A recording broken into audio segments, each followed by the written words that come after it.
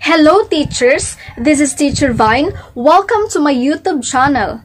In this video, ipapakita ko sa inyo kung paano makalogin sa DepEd LMS kahit wala kang DepEd LMS account, DepEd email, or DepEd Commons account.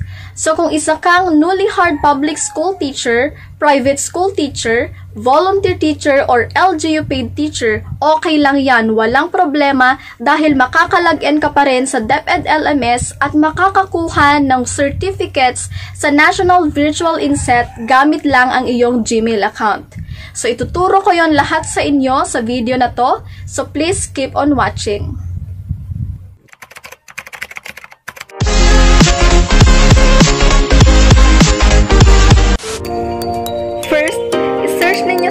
Google ang training.deped.gov.ph.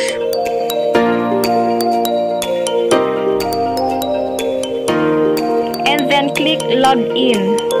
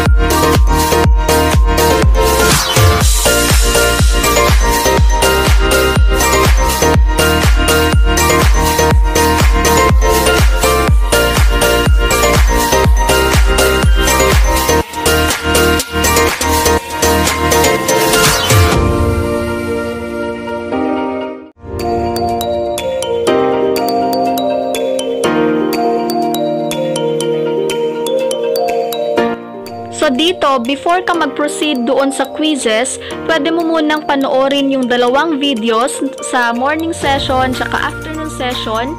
Pero kung gusto mo namang dumiretso doon sa quizzes, okay lang din. So unahin mo muna yung reflective questions. Yan. So click answer the questions. So dito naman, sagutan mo lahat ng questions. Anyway, those are opinionated. Pwede mong ilagay kung ano yung gusto mo. After that, mag-proceed na tayo doon sa mismong quiz. Just click next activity and then attempt quiz now. So dito sa quiz, dapat ma-perfect mo para makakuha ka ng certificate at makaproceed sa next activity. So in this video, sasabihin ko lahat ng answers from day 1 to day 5 para makasave tayo ng time. Number 1, the answer is all the statements above are incorrect. Number 2, in conducting asynchronous sessions, who among the following teachers prepared well? The correct answer is Mrs. Razon gathered available contents and select the best one which will fit her learner's needs and arrange it accordingly in the DepEd LMS.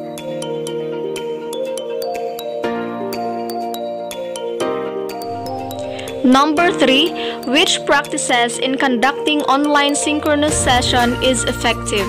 The correct answer is Use a video conferencing tool which you can share presentations or documents and engage in a collaborative chat to give instant feedback.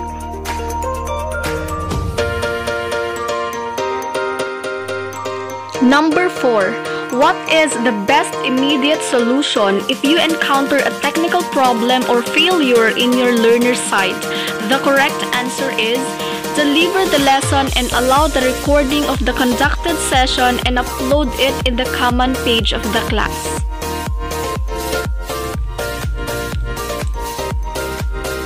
Number 5. What intervention should be made if a learner is continuously absent in the online synchronous class? The answer is all of the above. Since nasagutan na lahat, click Submit All and Finish.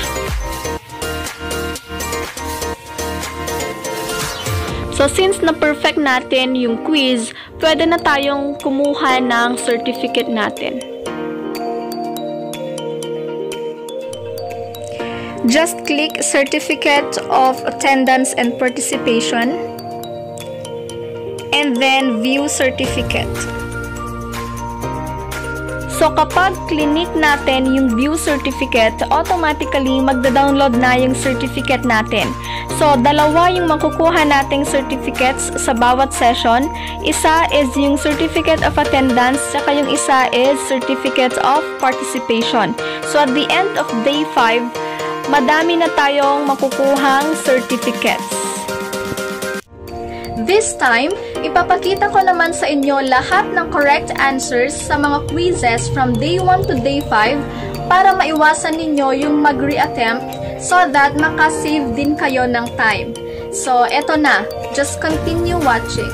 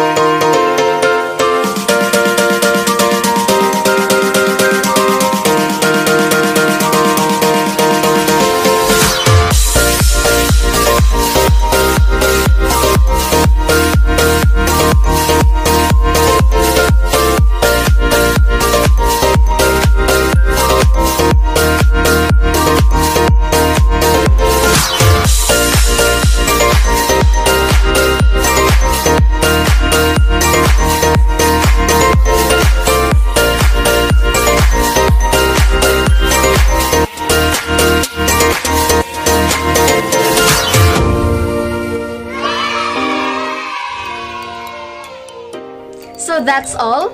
Kung nakatulong sa inyo ang video na to, please don't forget to like, share, subscribe, and turn on the bell button para ma-update ka sa mga susunod ko pang tutorial videos.